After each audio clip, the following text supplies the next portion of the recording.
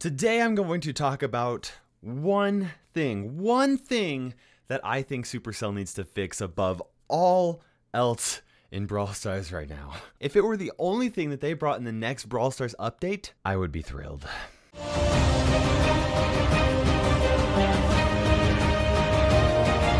Hello fellow brawlers, I'm Kairos Time, and it is time to talk about the one issue that Brawl Stars needs to fix. Talking about this, and this, and this.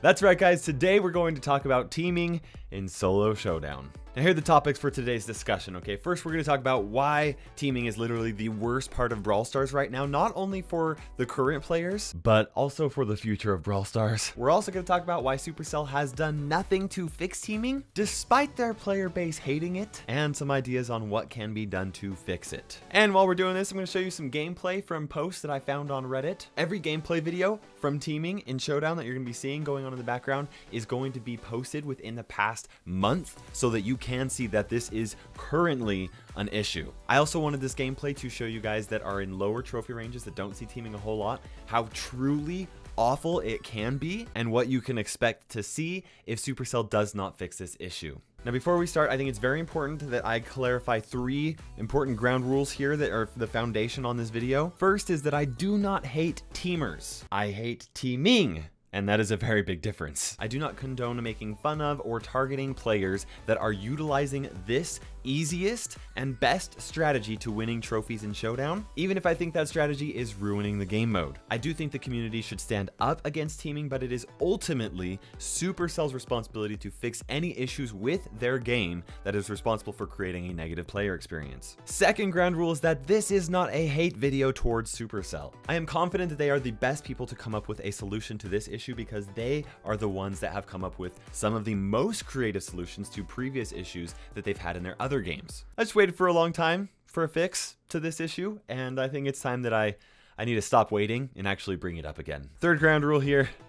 I'm not some ignorant noob that uh, is complaining about teaming because I can't adapt to the strategy. I am actually very experienced with teaming, as I used to be a hardcore teamer over six months ago before I swore it off. I know all of the temporary excitement that comes from this social experiment. I am fully aware of the false depth that people think teaming brings to Showdown. I know the strategies, I know the emotions, I know the backstabbing and everything that there is to know about teaming in Showdown. I literally did a video guide on it. I'm here to tell you as an experienced teamer, ex-teamer, that all of the temporary excitement of teaming actually ruins the long-term fun of the game. I'm also here to tell you that any depth that someone thinks teaming adds to Showdown is actually false and that teaming in reality removes the majority of strategy in Solo Showdown. I'm here to voice my opinion not only as someone who cares about the future of Brawl Stars as a player, but also because my YouTube channel, which is my career, depends on the success of Brawl Stars. Personally, I think it's actually pretty clear and obvious why teaming teaming is such a bad thing for the future of Brawl Stars.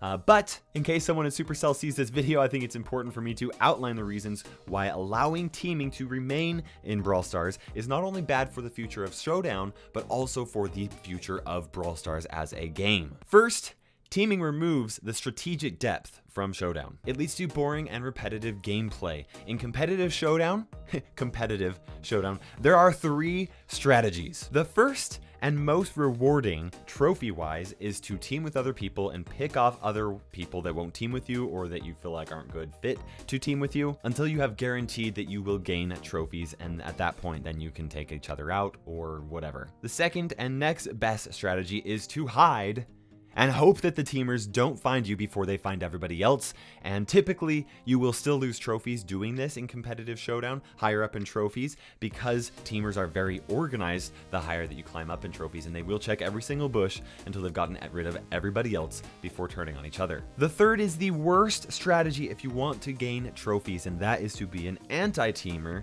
where you make it your goal to win against teamers no matter what.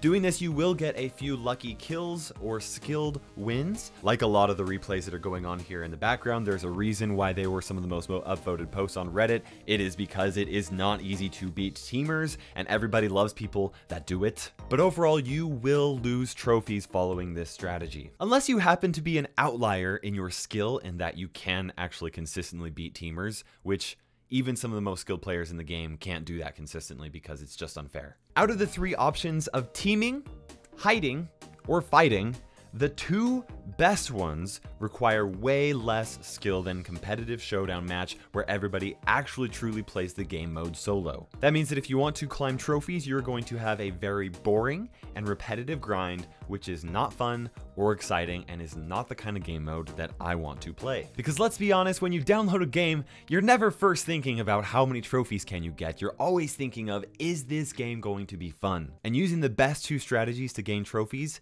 is not fun. The second reason why allowing teaming to stay in the game is bad for the future of Brawl Stars is because of the negative emotions that it creates. If you decide not to team, you are going to get incredibly frustrated when you are not able to win or not able to do at least somewhat decently well because you didn't team. Ideally, a game will create a positive losing experience, and that means that when you lose, it's because you lost to somebody's skill, and you could actually see that skill and say, oh, I could have done this differently, or I could have done that differently. Losing to teaming is a negative losing experience because there's literally nothing that you could have done if they chose to not allow you into their cool kids group and team with you. Or if you refuse to team because you think that it's cheating and you don't like how it's ruining the game mode for you. It's also very frustrating if you do decide to team with somebody and they end up backstabbing you because you're like, hey, I thought we were bros, and then you backstabbed me, and even though you did join in with the teaming, the whole teaming thing, getting backstabbed is an incredibly frustrating experience because there's no way you could have known whether somebody actually was teaming with you or if they were actually going to be backstabbing you. Not only that, but if you are one that does team in order to go and then backstab people, when you take them out, it doesn't actually even give you a good sense of accomplishment for taking them out because Really, it just came down to the fact that they trusted you and then you betrayed them, as opposed to you actually outskilling them and taking them out, which at that point that would be good. If you could outskill somebody and beat them because you were better at them in the game, then that would build a sense of accomplishment, and that sense of accomplishment is something that is no longer prevalent when teaming is allowed to stay in solo showdown. The third reason why allowing teaming to stay in solo showdown is bad for the game is because it literally creates a negative playing experience for the majority of all Brawl Stars players. Now, I recently ran a poll on my channel asking if solo showdown was people's favorite game mode, and with 40 thousand votes, Right now, as I'm making this video, 71% of the players said that Showdown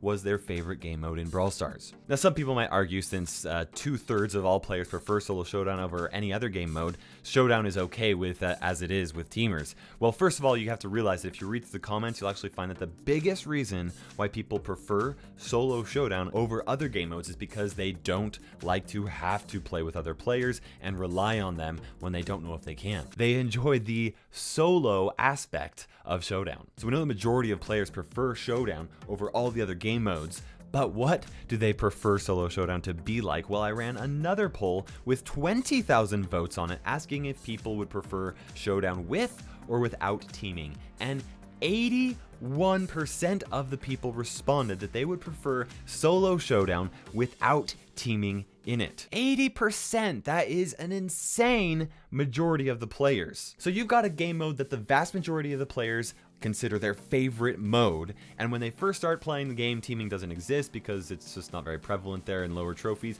But as they progress into the game, they find out that teaming is more and more prevalent the higher that they climb up in trophies. But since the majority of the players dislike teaming in Showdown, they think it's unfair, they think it's not fun, they think it is boring and repetitive, that leads to people disliking the game mode that they love the most. And that is a serious problem because they will uninstall it and stop playing the game. So why do I care about this so much, right? I mean, this is one of the most passionate videos that I have made in a long time. I mean, and it is just just a game, right? Absolutely. For most people, this is just a game that you should try to get some enjoyment out of. But as somebody who is creating YouTube content for Brawl Stars full time, which it is my primary source of income, Brawl Stars is much more than just a game. The welfare of my family depends on the success of Brawl Stars' future, and it depends on a large player base playing Brawl Stars for a long period of time so that they will then watch my videos. All these things that teaming does, but removing strategic depth, causing negative emotions, creating a negative player experience, it all leads to a decrease in player retention. And I know that that is a very serious topic that Supercell really does care about. Now, as someone who is passionate about the success of Brawl Stars, I have done more than anyone else to try and put an end to teaming in Brawl Stars. Global players won't know this, but over half a year ago, I organized a massive initiative to try and put an end to teaming in Showdown. It was called the Stop the Spin Initiative. I gathered over 20 content creators with millions of combined subscribers from many different countries that spoke very many different languages to try and spread this initiative worldwide. I got 70 of the top clubs to encourage their players to stop teaming in Showdown, and even Supercell released a few social media posts that brought people's attention to the Stop the Spin initiative. It exploded on Reddit, Twitter, Facebook, so that everyone in the world had at least an opportunity to stop the spin. It took an immense amount of time on my own part, as well as efforts and time from many others as well. And guys, it did, in fact, make teaming in Solo Showdown much, much better. It did decrease the amount of teaming almost immediately, but it still existed, especially the higher you went in trophies. And as more time went on, more and more people gave up their pledge and went back to teaming in Showdown because it is the easiest and best strategy if you want to win. Eventually, Brawl Stars was released globally, and since then, teaming has gotten worse and worse, and now most competitive players won't even play Solo Showdown because teaming is so bad there. It's no longer fun, and a lot and a lot of competitive players consider it a waste of a game mode because of it. The community has already made their own push to stop teaming in Showdown. If teaming is going to be removed from Brawl Stars, it has to come from Supercell. They either have to make it a bannable offense or they have to make a change to the game so that it will no longer become the most effective strategy. If they do not do this, it will lead to a decreased player base, and it will kill off player attention, leading to a less successful game than Brawl Stars could be. When people first started doing the spin, it was kind of like a funny thing to try, but the majority of the community was against it, okay? In fact, massive club organizations actually kicked people from their clubs from teaming, and for good reason. Many of people felt that it was morally wrong. It felt like cheating. Oh wait, it's called Solo Showdown. It is cheating. It wasn't until Supercell officially said that they were not going to ban players for teaming in Showdown that the strategy blew up to be what it is today. But that does not necessarily mean that Supercell is okay with it being the strategy in Showdown. In fact, the team has still been a little bit divided on the subject since it first came to light, which is something I hope this video helps to change. But I think the biggest reason why Supercell has not done anything to fix teaming is because it is a very difficult problem to fix in a natural way. Adding bans requires a large team of people to actually go through each claim and determine if someone was actually teaming or not. Supercell is a very small company, and so this doesn't seem like the most viable option. And coming up with the right change to make teaming discouraged naturally in the game is a really tough thing to come up with. I have spent hours and days arguably even months thinking about it. But just because it's hard does not mean that it should not be done. I think now is the time for Supercell to make a big change to Showdown so that teaming is no longer the most viable and best option. If anyone can fix it, it's Supercell, guys. I think that if they can't, come up with a solution to fix teaming in Solo Showdown, they should implement a report and ban system into the game. I'm not talking about permabanning anybody, guys. It could start with a one day ban from the game for teaming in Showdown and then progress to a three day ban, maybe even a week ban, but nothing beyond that unless somebody's like seriously abusing teaming in Showdown. Now, before you call me crazy for suggesting a ban for teaming in Showdown, teaming is a totally bannable offense if anybody does something like this in other similar games to Showdown like PUBG or Fortnite. They put duos and squads in those games so that people could play the way that they want to if they do prefer to play with a team. But if somebody is reported as teaming in their solo mode and it turns out to actually be legit, they will get banned. Now this might be difficult for Supercell to implement at first, but if people start getting like a day ban or a three day ban or whatever for teaming in Showdown, people will quickly stop teaming and then the problem will start to die down and become a lot less prevalent. The only reason why it is so prevalent is because it's so widely accepted right now. Now I know that this will take up some time and some resources from Supercell, but if it really is that big of an issue, then they can absolutely pay a third party to try and take care of the, that situation for them. After all guys, they are very passionate about making Brawl Stars the best game that it possibly can be, and I think that a solo showdown without teaming in it at all truly is the best for the game. Now, if you've made it this far into the video, I would ask that you help to try and keep the Stop the Spin initiative live wherever you can on social media, wherever you think that Supercell will see it on Twitter, Instagram, other YouTubers' channels, and whatever else you can think of to try and encourage Supercell to make a change to get rid of teaming. As always, guys, I want to know what you think about teaming in Solo Showdown, so please drop a comment in the section below, letting me know your thoughts, as well as if you have any other ideas on how to try and remove teaming from the game. I want to give a huge thank you to my YouTube members and Patreon sponsors for helping support my channel in such a big way. And for now, this is Kairos Time ticking by, and we will see you in Brawl Stars.